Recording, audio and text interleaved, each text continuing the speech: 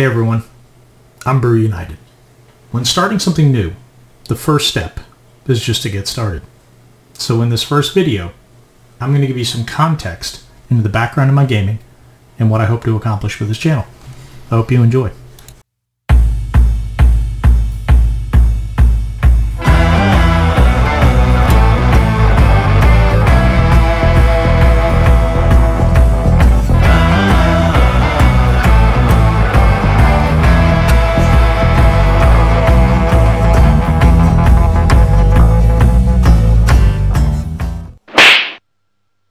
For me, gaming started in the 1980s.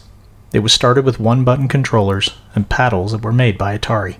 I remember being completely blown away by games such as Pac Man, Pitfall, Adventure, Space Invaders, Pong, and I gladly supported the Yars by avenging the destruction of one of their homeworlds, Razak 4.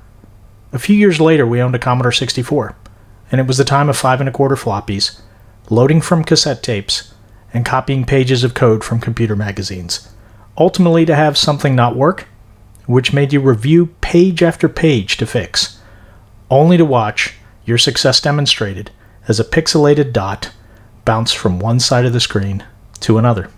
Yeah, back then, that was actually a thing.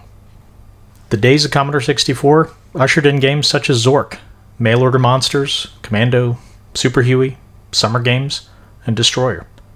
Fast forward a few years, and on came the console wars. The Sega Master System and Nintendo Entertainment System became my escapes from the heat of Miami, with Alex Kidd and Mario playing starring roles.